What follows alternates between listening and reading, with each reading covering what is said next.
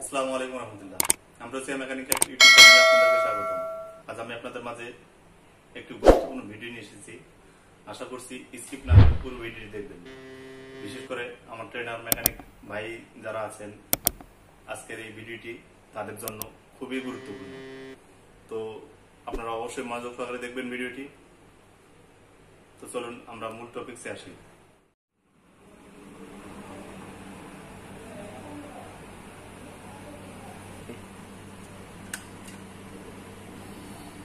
তো ভিউয়ার্স চলুন, আজ আমি আপনাদেরকে এলকে উনিশশো এ কম্পিউটার বারটেক মেশিনের কীভাবে সহজে এবং শর্টকাট প্যাটার্ন করা যায় এবং সেই সাথে আরেকটা কথা না বললেই নয়, আমরা এক্স স্কেল ওয়াই স্কেলের মান না কমিয়ে শুধু প্যাটার্ন নং দিয়ে আমরা লেন্থ নির্ণয় করব এবং এভাবে আমরা প্যাটার্ন করব।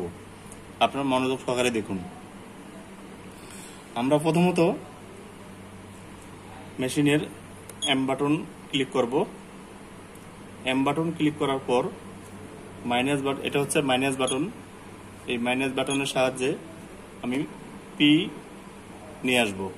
পি নিয়ে আসার পরে রেডি বাটন ক্লিক করব। রেডি বাটন ক্লিক করলে পি ওয়ান যোগ হবে।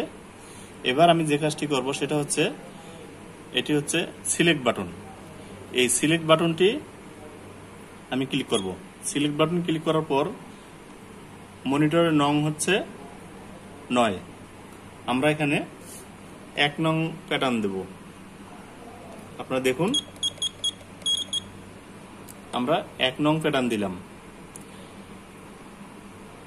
তো এক নং প্যাটার্ন দেওয়ার পর এই এক নং প্যাটার্নের স্টিচ হবে বিয়াল্লিশটা আর লেন্থ হবে ফাইভ এইট আমরা সাধারণত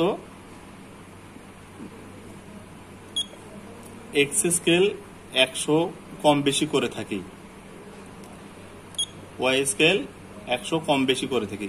তো ভিউয়ার্স আমি আজকে ব্যতিক্রম ধর্মী এবং সহজেই যে প্যাটার্ন করা যায়, সেই নিয়মটিই দেখাবো।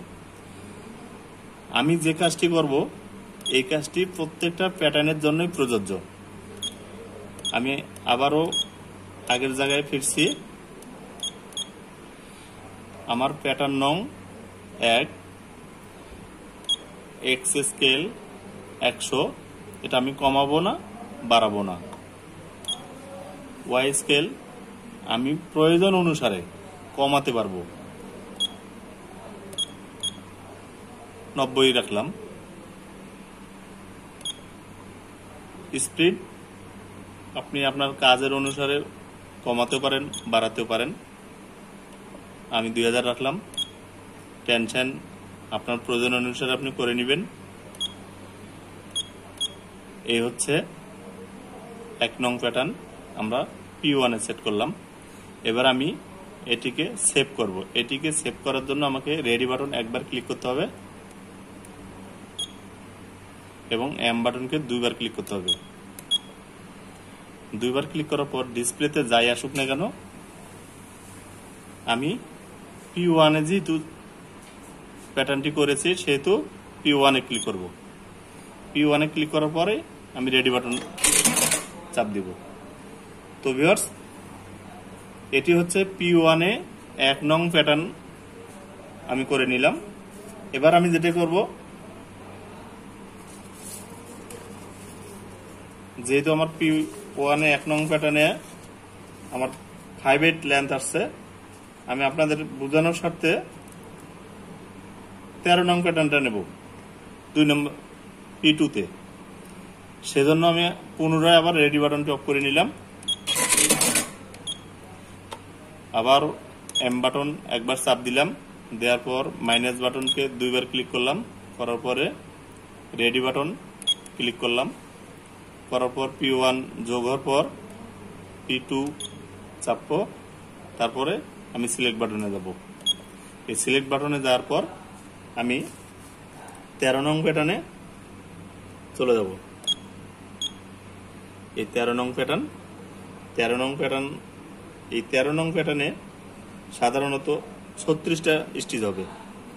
আর লেন্থ হবে ওয়ান ফোর লেন্থ হবে ওয়ান ফোর তো ভিউয়ার্স দেখুন, আমি এক্স স্কেল কমাবো না, বাড়াবো না, অথচ আমার লেন্থ ওয়ান ফোর আসবে। ওয়াই স্কেল আমি কমাবো। আমি X scale Y scale X স্কেলের মান কিন্তু কমাইনি ওয়াই স্কেলের মান দশ পয়েন্ট কমিয়ে নিলাম। তো ভিউয়ার্স আমি কিন্তু তেরো নং প্যাটার্নে ছত্রিশটা স্টিচ পেয়েছি। X scale Y scale X scale একশোই থাকবে। ওয়াই স্কেল প্রয়োজন অনুসারে কম বেশি করে নেব। চিকন অর্থাৎ মোটা যত- যতটুকু করার দরকার হয়। আমি আজ আপনাদের বোঝানোর জন্য কয়েকটি প্যাটার্ন এবং লেন্থ স্টিচ সম্বন্ধে বলে দিচ্ছি। আপনারা ঠিক এভাবে করে নেবেন। এবার দেখুন আমি এটাকে সেভ করে নিই। এম বাটন দুইবার ক্লিক করব। পি টু তাহলে দেখুন পি ওয়ানে আমরা এক নম্বর প্যাটার্ন দিয়েছি। পি ওয়ানে মনিটর মানে আপনার মেমোরি ওয়ানে যে এক নম্বর প্যাটার্ন যদি থাকে, সেক্ষেত্রে কিন্তু স্টিচ থাকবে বিয়াল্লিশটা। আর আমরা পি টুতে যেটা সেট করছি প্যাটার্ন দিয়েছি তেরো, এখানে স্টিচ থাকবে ছত্রিশটা।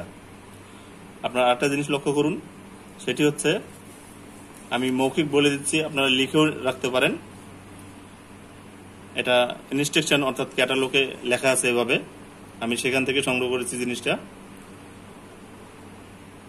প্যাটার্ন নং এক স্টিচ হবে বিয়াল্লিশটা। সুইং লেন্থ হবে ফাইভ এইট প্যাটার্ন নং টু স্টিচ হবে বিয়াল্লিশটা। লেন্থ হবে হাফ ইঞ্চি প্যাটার্ন নং থ্রি স্টিচ হবে বিয়াল্লিশটা সুইং লেন্থ হবে ফাইভ এইট প্যাটার্ন নং ফোর স্টিচ হবে বিয়াল্লিশটা সুইং লেন্থ হবে সেভেন এইট প্যাটার্ন নং ফাইভ স্টিচ হবে আঠাশটা সুইং লেন্থ হবে থ্রি এইট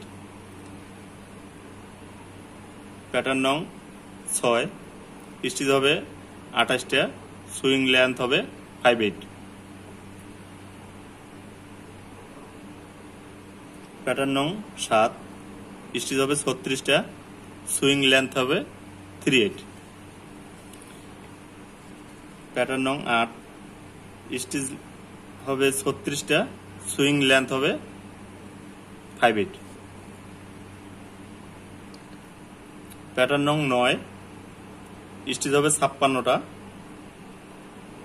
সুইং লেন্থ হবে এক ইঞ্চি। প্যাটার্ন নং দশ স্টিচ হবে চৌষট্টিটা, সুইং লেন্থ হবে এক ইঞ্চি। প্যাটার্ন নং এগারো স্টিচ হবে একুশটা, সুইং লেন্থ হবে ওয়ান ফোর।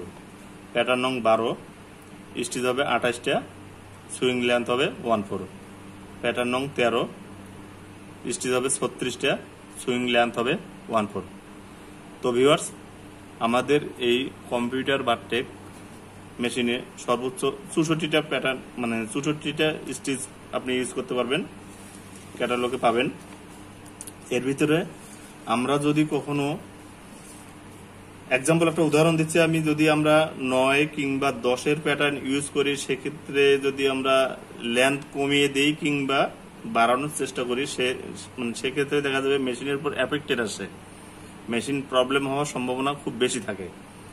তো আমরা আমরা যে সকল মেকানিক ভাইয়েরা আছি, যারা আমরা চাকরি করি মেকানিক ডিপার্টমেন্টে তারা অবশ্যই চেষ্টা করব এবং খুব ভালোভাবে বিষয়টি লক্ষ্য করব যাতে করে আমরা প্যাটার্ন নং অনুসারে স্টিচ এবং লেন্থ সঠিকভাবে রাখতে পারি। যা মানে আর একটা জিনিস লক্ষ্য করব সেটা হচ্ছে যদি আমরা এক্স স্কেল ওয়াই স্কেলের মান একশো ইন্টু একশো রেখে প্যাটার্ন নং সেট করতে পারি সেক্ষেত্রে আমাদের মেশিনটি পরিপুক্ত থাকবে, অর্থাৎ মেশিনটি সচল অবস্থায় থাকবে প্রবলেম কম হবে। তো ভিউয়ার এই ছিল আমার আজকের ভিডিও ভিডিওটি ভালো লাগলে অবশ্যই একটি লাইক দিবেন সোশ্যাল মিডিয়ায় বন্ধু বান্ধবদের সাথে শেয়ার করবেন। আর ইতিপূর্বে আমার চ্যানেলটি যারা সাবস্ক্রাইব করেছেন, তাদেরকে অসংখ্য ধন্যবাদ। যারা এখন পর্যন্ত আমার চ্যানেলটি সাবস্ক্রাইব করেননি, তারা প্লিজ আমার চ্যানেলটি সাবস্ক্রাইব করবেন। তো আজকের মতো এখানেই শেষ করছি। আল্লাহ হাফেজ। আসসালামু আলাইকুম রহমতুল্লাহ।